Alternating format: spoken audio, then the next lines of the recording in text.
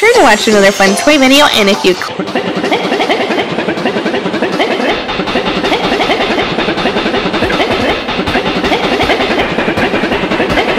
on a picture to watch another fun toy video, and if you click on the click, click,